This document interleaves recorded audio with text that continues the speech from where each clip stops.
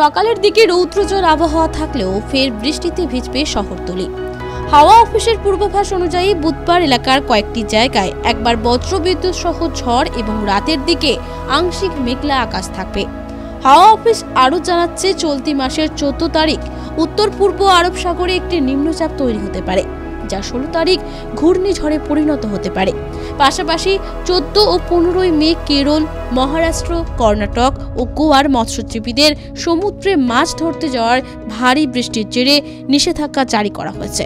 অন্যদিকে বাংলার উত্তরের উত্তর দিনাজপুর, দক্ষিণ দিনাজপুর, মালদহ, জলপাইগুড়ি, কালিম্পং এবং দক্ষিণের পূর্ব মেদিনীপুর, নদিয়া, উত্তর চব্বিশ পরগনায় আজ এবং আগামী তিন থেকে চার দিন বজ্র বিদ্যুৎ সহ বৃষ্টির সঙ্গে ঘন্টায় তিরিশ থেকে চল্লিশ কিলোমিটার বেগে ঝোড়ো হাওয়া বওয়ার সম্ভাবনা রয়েছে। বুধবার শহরের আকাশ মূলত মেঘলা থাকবে। এদিন সর্বোচ্চ তাপমাত্রা পঁয়ত্রিশ ডিগ্রি সেলসিয়াস, যা স্বাভাবিক। সর্বনিম্ন তাপমাত্রা বাইশ দশমিক পাঁচ ডিগ্রি সেলসিয়াস, যা স্বাভাবিকের থেকে চার ডিগ্রি কম। বাতাসে আর্দ্রতার পরিমাণ অষ্টআশি শতাংশ। আজ সারাদিন মেঘাচ্ছন্ন মনোরম পরিবেশ থাকার পাশাপাশি রাতের দিকে আংশিক মেঘলা আকাশ থাকার পূর্বাভাস রয়েছে। ব্যুরো রিপোর্ট, আরোহে নিউজ।